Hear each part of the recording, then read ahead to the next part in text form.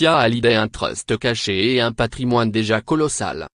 Vendredi 13 avril 2018, le tribunal de grande instance de Nanterre rendait sa décision, les aînés, David Hallyday et Laura Smith, n'obtiennent aucun droit de regard sur le dernier album de Johnny Hallyday, en revanche, ses biens immobiliers en France et ses revenus artistiques dérivés sont gelés.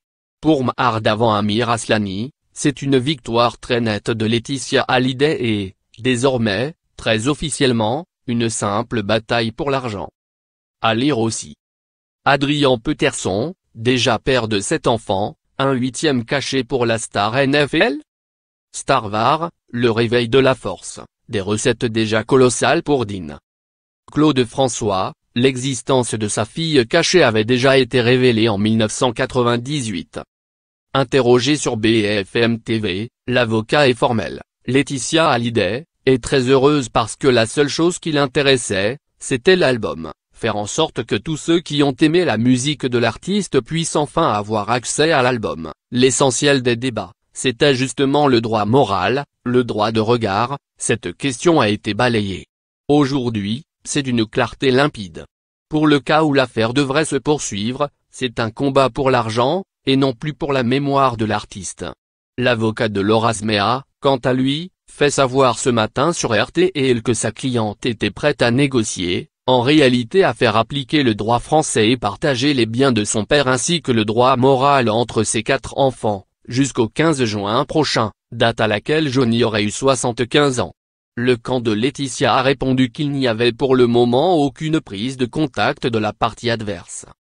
Quand il s'agit de l'héritage de Johnny Hallyday, de quoi parle-t-on en réalité? Le Figaro a mené l'enquête sur le véritable patrimoine de Johnny Hallyday. On sait qu'il est question d'un trust, en regroupant deux, qui par Barbara Usan, une expert comptable américaine, dans le but d'assurer un train de vie raisonnable à Laetitia et à ses filles, Jade et Joye, le JPS Foreign sait pour ses biens à l'étranger, la villa de Marne la Coquette et la moitié de celle de Saint-Barthélemy qui appartenait à Johnny, résident américain depuis trois ans, et le JPS, ses initiales, pour son patrimoine américain comprenant deux maisons ainsi que ses droits d'interprète et d'édition. Mais le trustee celui qui est responsable du fonctionnement du trust, vient d'être nommé, c'est la Bank of America. Mais selon le Figaro, Laetitia est la seule bénéficiaire d'un troisième trust et la propriétaire d'un solide patrimoine immobilier. Selon des documents officiels que se sont procurés nos confrères, ce patrimoine immobilier personnel s'élève à 28 millions d'euros. En effet, Laetitia Hallyday possède l'autre moitié de la villa de Saint-Barth, 49% de celle de Pacific Palisades, estimée à 14,5 millions de dollars, où elle était installée avec Johnny et leur fille, qui est sa résidence principale, et la même part dans une autre propriété, beaucoup plus modeste, à Santa Monica, évaluée à 1,435 millions de dollars. Ces parts ont été transférées le 27 janvier 2017 dans un trust baptisé ELMS, Laetitia Marie créé à Los trois ans plus tôt, le 11 juillet 2014. Le Figaro parle d'une date clé, ce jour-là, le rocker a en effet signé une foule de documents, dont son testament américain et la création des trusts destinés à accueillir son patrimoine. Il faut également prendre en compte l'APMA américaine Born Rocker Music, société américaine dont Johnny Hallyday était le président, et Laetitia, la secrétaire générale. Born Rocker Music est dans le trust de Johnny.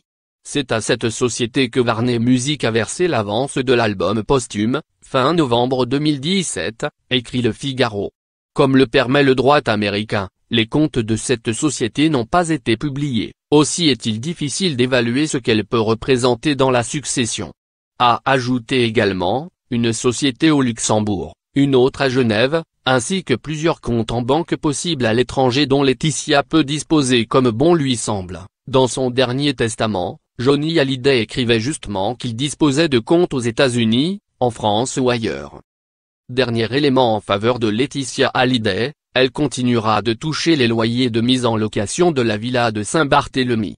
Le Figaro rappelle que c'est David Hallyday qui avait demandé, pour protéger ses sœurs Jade, 13 ans, et Joye, 9 ans, que le gel des avoirs ne concerne pas ses loyers. Pour le Figaro, ces nouveaux éléments expliquent que les conseils de Laetitia se réjouissent de la décision du tribunal de grande instance de Nanterre.